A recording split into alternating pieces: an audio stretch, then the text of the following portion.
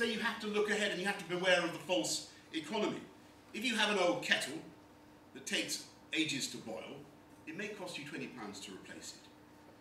But if you get a new one, you'll save £10 a year for every year on your, £10 a year every year on your electricity bill.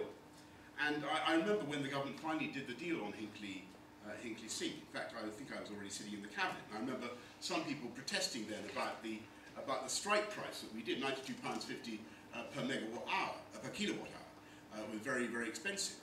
Uh, but it doesn't, it doesn't look very expensive today. That's why we need to pull our national finger out and get on with Sizewell C.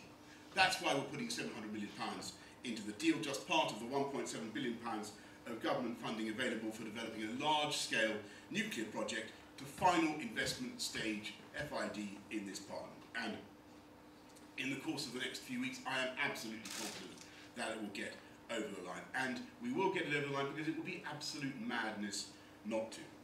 This project will create tens of thousands of jobs, but it will also power six million homes. That is roughly a fifth, six million homes, roughly a fifth of all the homes in the UK. So it will help to fix the energy needs, not just of this generation, but of the next. A baby born this year will be getting energy from Sizewell C long, long after she retires. And